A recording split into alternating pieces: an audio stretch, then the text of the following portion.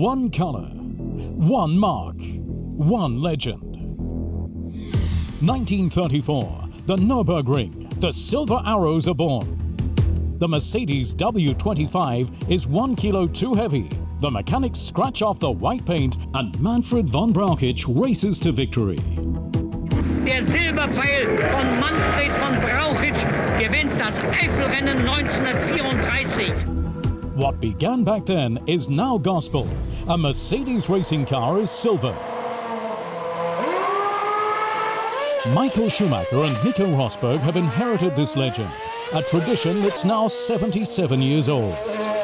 Also es macht auf jeden Fall stolz. It certainly makes you proud as a German to be in a German works team. That's really äh, something. Schon eine, eine heiße Nummer und dann auch noch in einem And on top of that, in a Silver Arrow, a Mercedes, I can't imagine anything better. Ich äh, nichts Besseres vorstellen. Mercedes in Sindelfingen, the design center. This is where the paintwork process begins. At the heart of things, the power wall. Seven projectors and over 20 square meters of screen. High-end technology to create a thing of beauty.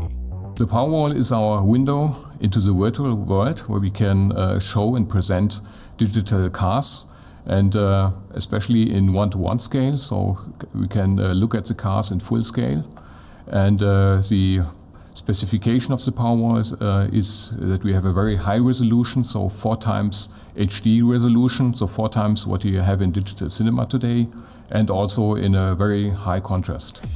On the Powerwall, there are no limits. The Mercedes GPW02 can be depicted on any circuit, in different weather conditions and lighting, in an enclosed space or under open skies. Every section, no matter how small, is brought into perspective. From the outset, a creative process.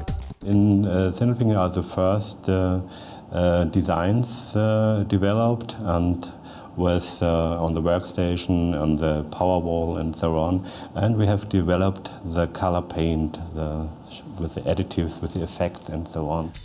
3D or 2D, the thickness of the shading using paint or decals. The lettering for the sponsors gets created, designed and tested. Another decisive point is selection of the appropriate shade of paint.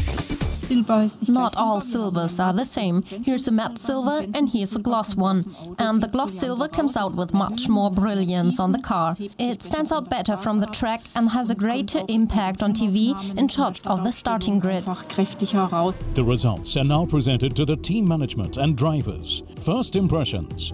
Yeah, it was the first time that I saw this year's car. It was on the Powerwall. And I think the Mercedes Design Center in Zindelfing did a fantastic job because the car really looks cool. At the Mercedes factory in Brackley, England, the livery is then applied. In the paint shop, over 25 different body parts are painted to create a single unit. We uh, have a, a, left side and a right side, and then we discuss and uh, uh, we decide which side is the best one, and then we make the, the whole body, the whole car in Brackley, and uh, yeah, then we have the finish of the car. One of the key aspects in the process, the weight of the paint. Formula One is unforgiving, and one gram too much could be decisive. This season alone, around 30,000 litres of paint will be used for the whole team. A colour that represents a team and an entire company, and that fills not only the drivers with pride. Today's boss was a big fan of the silver cars, even way back when. Well, when I was uh, when I was a schoolboy, I used to make little slot cars, and um, some of the old Silver Arrows I used to build as slot cars. So um, I think the the 156, the 125, all those I used to make as little slot cars. So uh, they're cars I know uh, quite well, and I was quite fond of them when I was a boy. A fondness shared by many motor racing fans, and one that's endured from that first race at the Nürburgring through to this day. One colour, one mark, one legend.